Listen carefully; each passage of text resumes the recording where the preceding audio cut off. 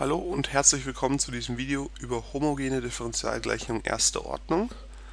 Wir wollen uns die Differentialgleichung y' von x ist gleich f von x mal y von x anschauen und uns als erstes mit dem Problem befassen, wie man denn so eine Differentialgleichung ganz allgemein lösen kann.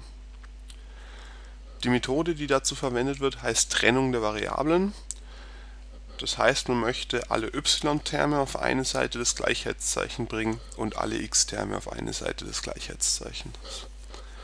Dazu dividieren wir dieses y von x auf die andere Seite und erhalten y' von x durch y von x ist gleich f von x. Es hat sich ja eingebürgert, dass man ein bisschen schreibfaul ist und bei dem y dieses von x weglässt Dadurch sieht man auch schöner, dass man tatsächlich Variablen trennt, denn auf dieser Seite steht jetzt wirklich nur noch y und auf dieser Seite steht wirklich nur noch x. Man darf natürlich nie vergessen, dass dieses y von x abhängig ist, deshalb werde ich das jetzt auch in weiterer Folge so schreiben.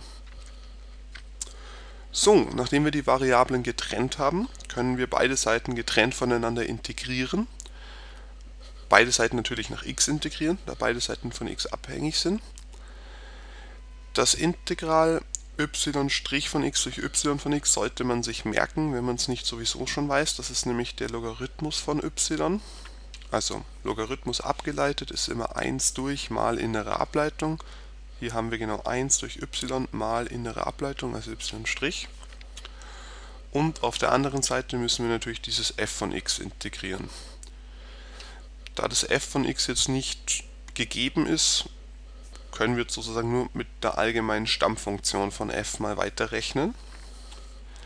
Insofern haben wir jetzt der ln von y ist gleich die allgemeine Stammfunktion. Und ja, um die ganze Gleichung nach y aufzulösen, können wir beide, auf beide Seiten die e-Funktion anwenden.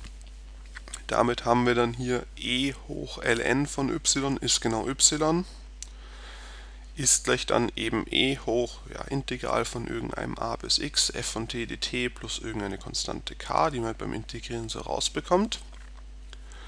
Und diese Konstante k kann man jetzt noch rausziehen, also wir haben e hoch irgendwas plus irgendwas ist e hoch das eine mal e hoch das andere.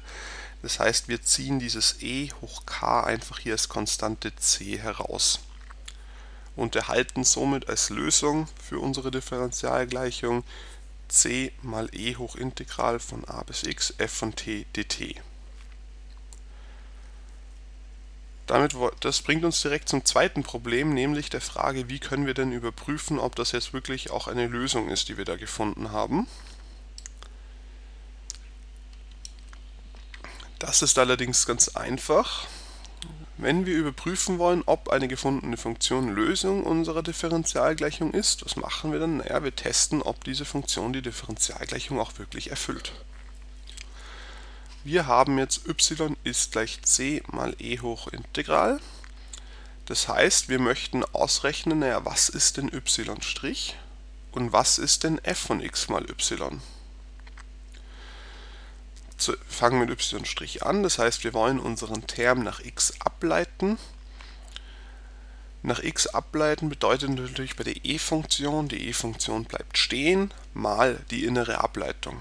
Wir haben schon gesagt, hier oben ist eine Stammfunktion von f von x, das heißt natürlich die Ableitung davon ist wieder f von x. Das heißt wir bekommen hier c mal e hoch Integral mal f von x.